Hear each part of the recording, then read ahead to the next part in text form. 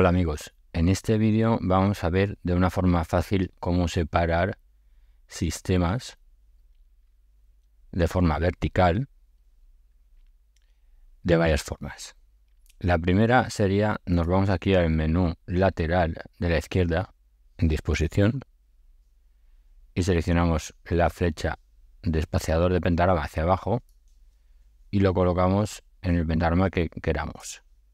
Lo suelto, veis que se coloca aquí.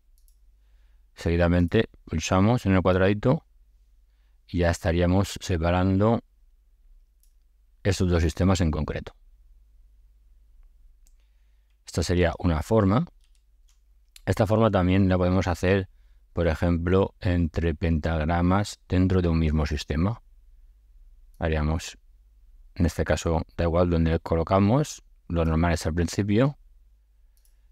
Eh, pinchamos dentro y en este caso pues, estaríamos separando simplemente el primero.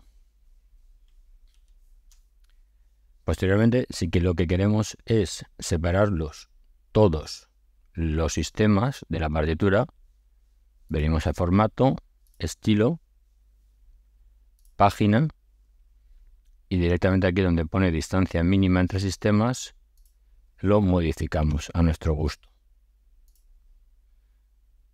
Y aquí veis cómo se pueden separar todos ellos dentro de la misma partitura.